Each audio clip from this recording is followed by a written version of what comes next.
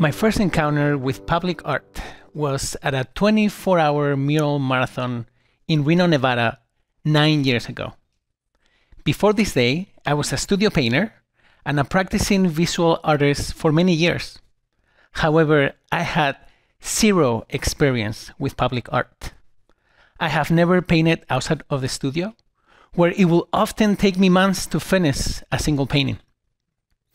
However, there I was, invited as one of the seven artists working side by side, each trying to complete a mural in less than 24 hours. At the beginning, I was timid and self conscious of being watched.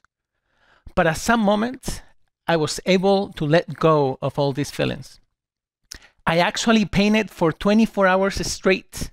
I work non-stop under the pressure of the clock.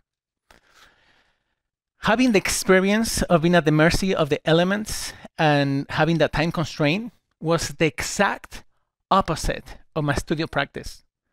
I had no time to think, nor to rest, nor to cover my mistakes. I just simply had to keep painting.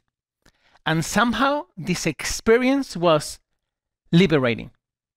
It opened a new door full of possibilities. It felt like a gust of wind just filled the sail of my boat.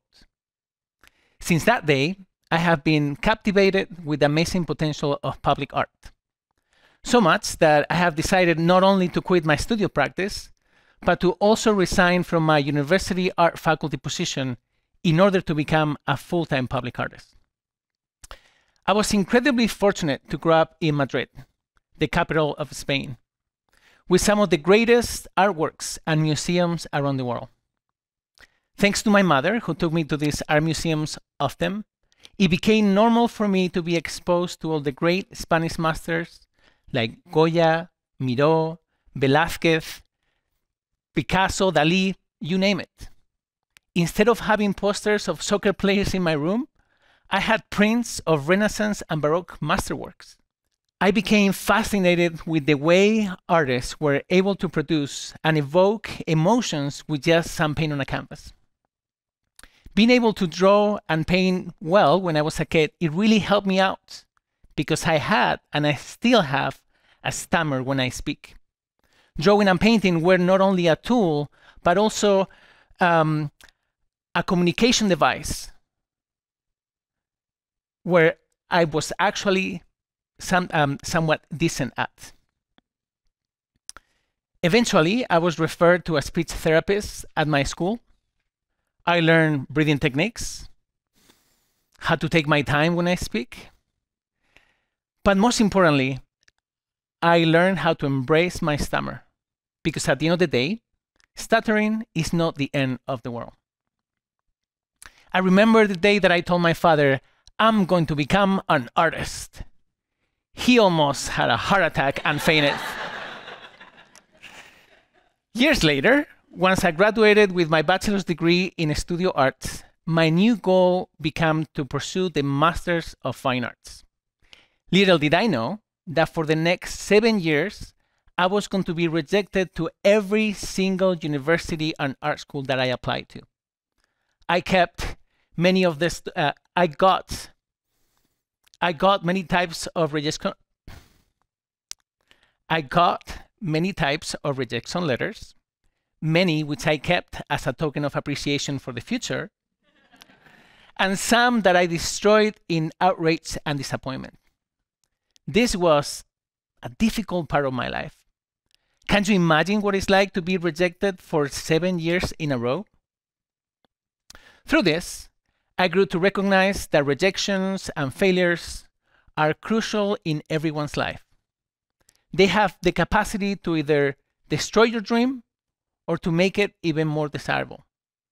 In my case, while still trying to fulfill my dream, I became a street performing clown, a carpenter, a Hollywood extra, and a tennis coach. My life path began, my life path was full of wild and unexpected turns. I questioned my vocation daily. In fact, during this time, I actually quit painting for a while. However, my love for the act of painting endured, and it actually became greater than ever. Because I learned not to paint for others' acceptance, but really to paint for my own. Public art has the amazing potential to transform, beautify, and change the perception of any given site. It is out there in the world, made for everyone, and many encounter it every single day. Unlike billboards all around us, art in public spaces are not trying to sell anything. In the contrary, they are offering experiences and exposing people to art for free. The beauty of public art is that everyone has the equal opportunity to be exposed to it, regardless your social status, gender, religion, religion, language, age. Let me give you an example. This past summer, I was hired to transform a boring student apartment complex in Urbana, Illinois, into a vibrant and cool place for college students. Weeks after it was completed, I got a random email from a woman who, by coincidence, had driven by with her 96 year old grandma.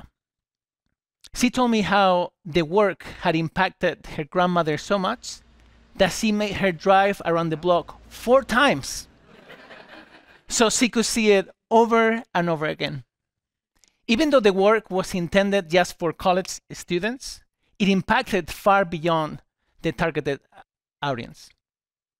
Getting to know the people that will have to interact with my work on a daily basis, it is really an extraordinary experience of creating art in the street. Like the time that I painted in Old Saybrook, Connecticut, where I was invited by two high school art teachers to beautify the site of a market. We decided that I was going to paint six of their students, all coming from different backgrounds, in order, in order to celebrate the diversity in their school. I worked with many different classes, and most of the kids had the chance to complete a section of the mural. This project was so impactful that even when I was not working directly with students, I had a really difficult time focusing on painting because I was being approached by every single person passing by. The day that I was finally able to finish, I found myself in tears while driving back to the airport because I felt that together we have done something memorable for this new generation. There are many reasons why I, I became a public artist. However, it is the challenge of creating large-scale site-specific artwork that altered the motive of my creative process. My intention is to take an unappealing site and to transform it into a vibrant, stimulating, colorful place. I understand public art as a public service, a gift to the community. But honestly, for me, it goes e even beyond. When I'm done with an artwork, I cannot take it back home with me. It doesn't even belong to me eh, anymore. But what I take is the amazing experience of creating, transforming, and giving. I get to create large scale work, and galleries don't need to sell it because it already belongs to the people. I help communities by beautifying some of their most needed areas, and hundreds, maybe thousands, get to see my work on a daily basis. I get to travel, visit new places, meet amazing people along the way, Oh, and did I mention that I actually get paid by doing what I love?